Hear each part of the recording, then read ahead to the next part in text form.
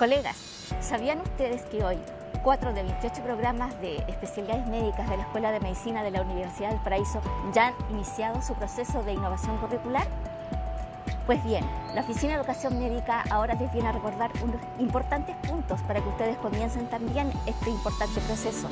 Les permitirá contar con un programa innovado flexible, orientado por competencias y que les va a permitir cumplir con un perfil de egreso para lo que nuestra sociedad necesita dentro de nuestros especialistas.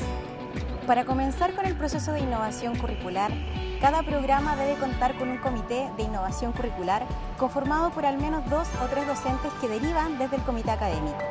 Luego vamos a fijar la primera reunión en conjunto para definir las tareas a realizar y un canal de comunicación que se acomode a los miembros del comité.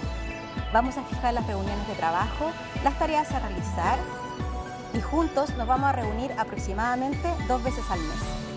El trabajo que realizamos en conjunto con el Comité de Innovación trae como resultados hitos importantes reflejados en dos etapas.